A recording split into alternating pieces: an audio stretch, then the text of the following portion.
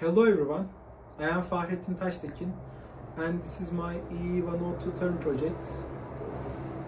I designed a simple arcade game and it's created by uh, VHDL codes. In this game, a user controls a spacecraft on the left of the screen uh, by uh, these three buttons on the FPGA.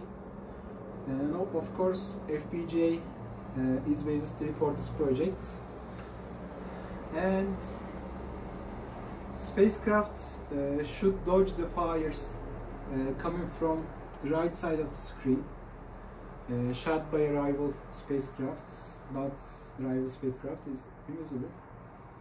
And the user has seven lives uh, and he loses each life uh, when the when the fire touches the spacecraft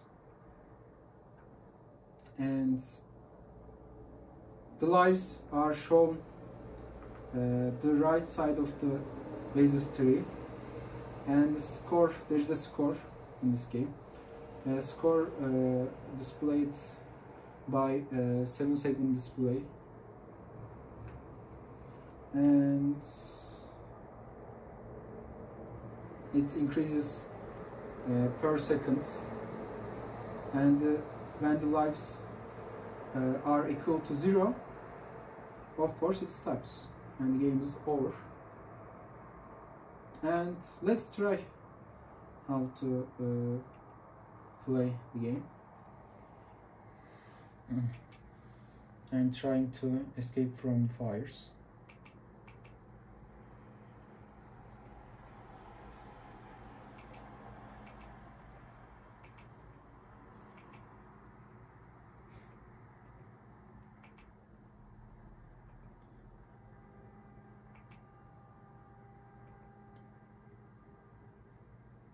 I started the game with middle uh, button.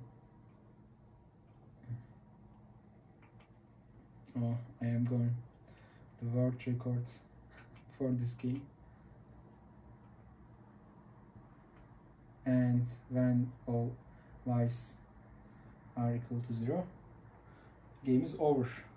And that's all uh, what I tell. Thank you for Uh, thank you all for watching this video. That's